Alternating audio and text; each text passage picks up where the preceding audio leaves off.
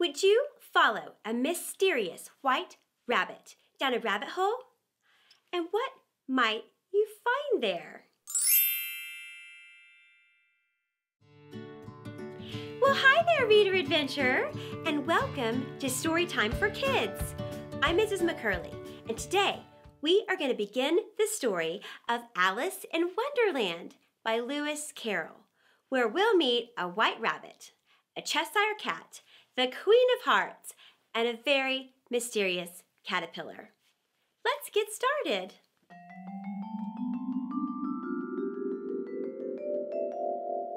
Chapter 1 of Alice in Wonderland by Lewis Carroll. Down the Rabbit Hole.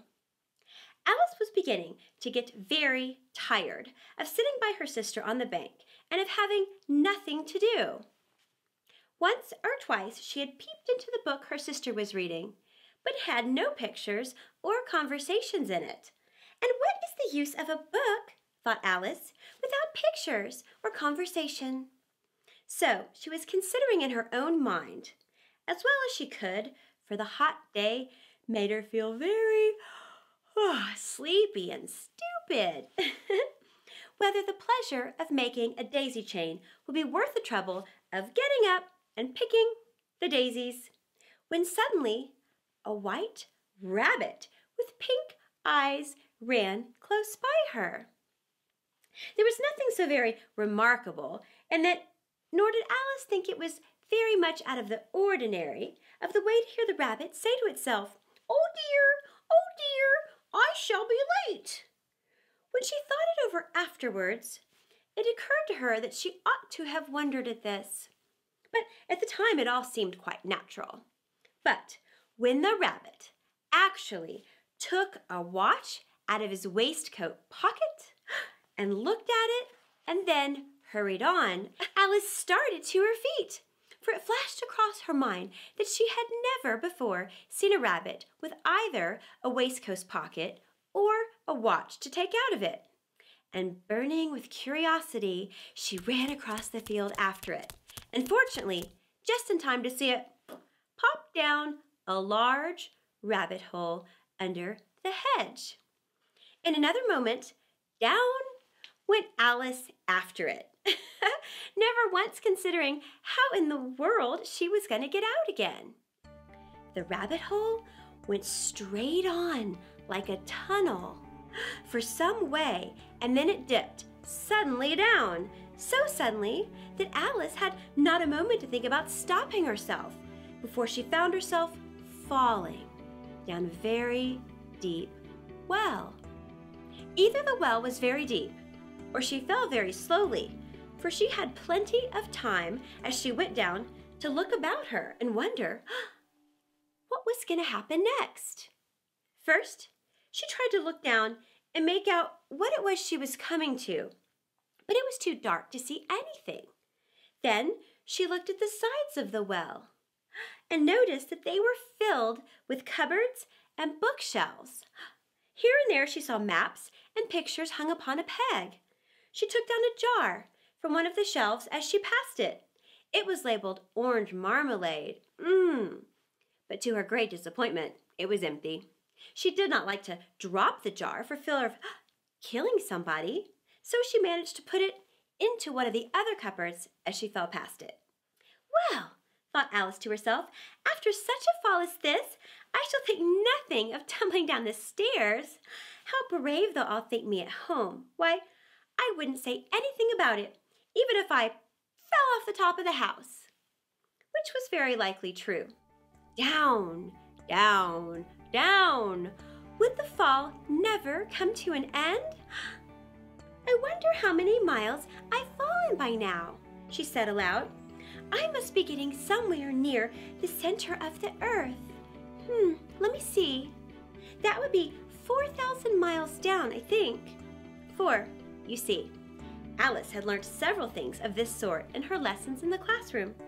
And though this was not a very good opportunity for showing off her knowledge, as, well, there was no one to listen to her. Still, it was good to practice it over and over. Yes, that's about the right distance, but then I wonder what latitude or longitude I've got to. Hmm. Alice had no idea what latitude was, or longitude either, but thought that they were nice, grand words to say. Presently, she began again. I wonder if I shall fall right through the earth. How funny it'll seem to come out among the people that walk with their heads downwards. The mm, antipathies. Antipathies, I think. She was rather glad there was no one listening at the time, as this didn't sound like the right word at all.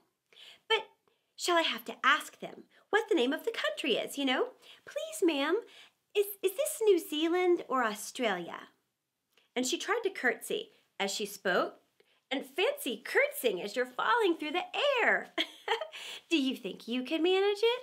Hmm. And what an ignorant little girl she'll think me for asking. No, it'll never do to ask. Perhaps I shall see it um, written upon somewhere. Down, down, down. There was nothing else to do, so Alice soon began talking again. Dinah'll miss me very much tonight, I should think. Dinah was her cat. I hope they'll remember to give her a sauce of milk at tea time. Oh, Dinah, my dear, I wish you were down here with me.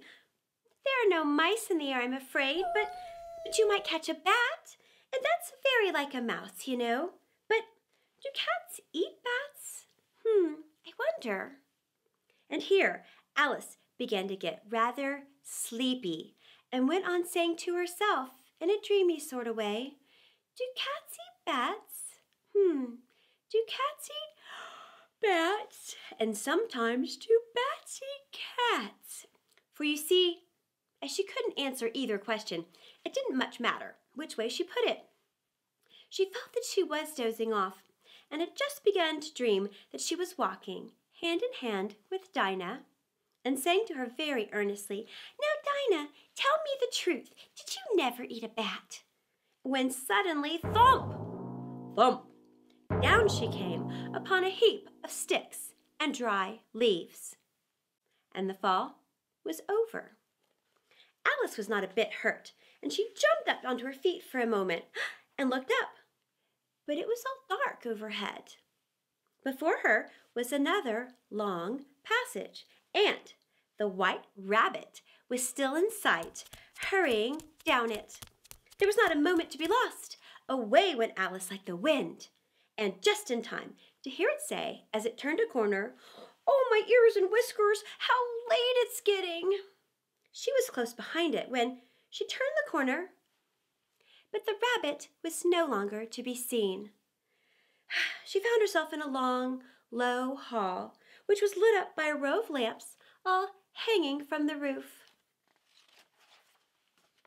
There were doors all round the hall, but they were all locked, and when Alice had been all the way down one side and up the other, trying every door. She walked sadly down the middle, wondering, how is she ever to get out again? Suddenly, she came upon a three-legged little table, all made of solid glass, and there was nothing on it except a tiny golden key. And Alice's first thought was that it might belong to one of the doors in the hall. But Alas, either the locks were too large or the key was too small. But at any rate, it would not open any of them. However, on the second time around, she came upon a little low curtain that she had not noticed before, and behind it was a little door about 15 inches high. And she tried the little golden key in the lock, and to her great delight, it fitted. Alice opened the door and found that it led to a small passage, not much larger than a rat hole. She knelt down and looked along the passage into the loveliest garden you've ever seen. How she longed to get out of that dark hall and wander about among the beds of bright flowers and those cool fountains. But she could not even get her head into the doorway. Hmm, and even if my head went through, thought poor Alice. It would be of very little use without my shoulders. Oh, I wish I could, could shut up like a telescope. I think I could, if I only knew how to begin. For, you see, so many out of the way things had happened lately that Alice had begun to think that very few things were indeed really impossible. There seemed to be no use in waiting by the little door, so she went back to the table, half hoping she might find another key on it, or, at any rate, a book of rules for shutting people up like telescopes. This time she found a little bottle on it, which certainly was not there before. And round the neck of the bottle was a paper label with the words, Drink me, beautifully printed on it in large letters. Well, it was all very well to say, Drink me, but the wise little Alice was not going to do that in a hurry. No, I'll look first, she said, and see whether it's marked poison or not. For she had read several nice little histories about children who'd got burnt and eaten up by wild beasts and all sorts of other unpleasant things, all because they would not remember the simple rules their friends had taught them, such as that a red hot poker will burn you if you hold it too long, or that if you cut your finger very deeply, it is most likely to bleed. And she had never forgotten that if you drink much from a bottle labeled poison, well, it will almost certainly disagree with you sooner or later. However, this bottle was not marked poison, so Alice ventured to taste it, and finding it very nice, it had, in fact, a sort of mixed flavor of cherry tart, custard, pineapple, roast turkey, toffee, and hot buttered toast. She very soon finished it off. What a curious feeling, said Alice. I must be shuddering up like a telescope. And so it was indeed. She was now only ten inches high, and her face brightened up a thought that she was now the right size for going through the little door into that lovely garden. First, however, she waited for a few minutes to see if she was going to shrink any further. She felt a little nervous about this, for it might end, you know, said Alice to herself. I, I mean, my going out altogether, like a candle. I wonder what I should be like then. And she tried to fancy what the flame of a candle is like after it is blown out, for she could not ever remember having seen such a thing. But after a while, finding that nothing more happened, she decided on going into the garden at once. But, alas for poor Alice, when she got to the door, she found she'd forgotten the little golden key. And when she went back to the table for it, she found she could not possibly reach it. She could see it quite plainly through the glass, and she tried her best to climb up one of the legs of the table, but it was too slippery, and when she had tired herself out with trying, the poor little thing sat down and cried. Come, there's no use in crying like that, said Alice to herself, rather sharply. I advise you to leave off this minute.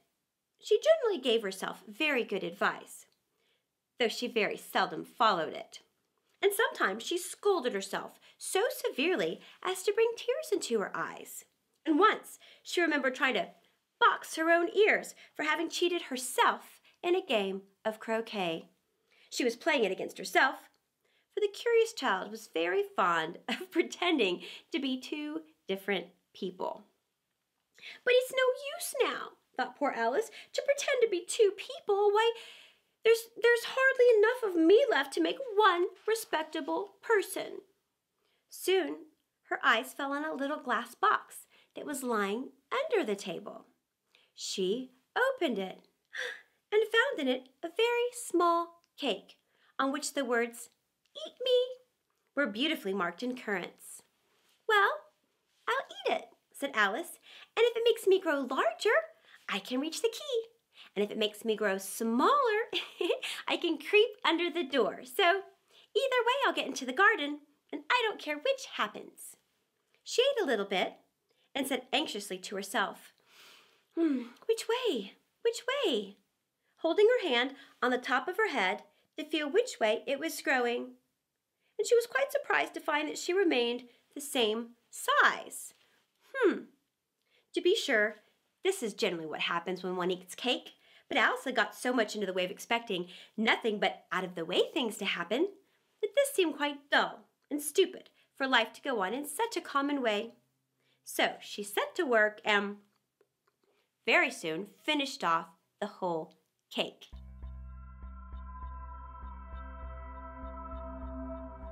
Wow! What did you think of the first chapter of Alice's Adventures in Wonderland? Be sure to join us next week where we'll continue with chapter two. And thanks for being a reader adventurer. Until our next story, happy story time! Bye!